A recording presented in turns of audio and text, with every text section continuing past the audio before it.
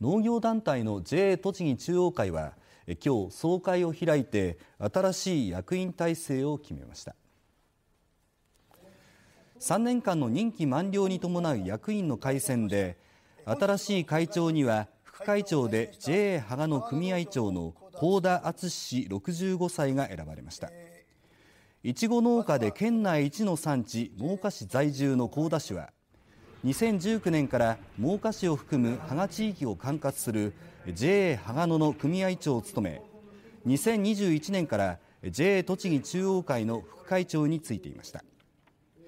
幸田市はこれまでの栃木県のいちごの主力品種だったとちおとめより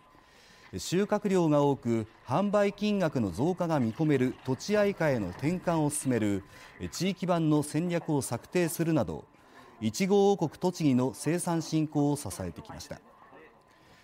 県内の農業の課題として担い手不足と生産者の高齢化それに資材の高騰を挙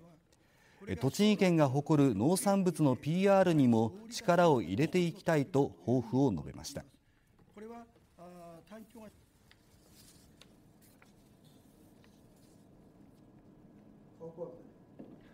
土地愛花という新しい品種に取り組んだところ、かなり所得が向上しているという事実もございます。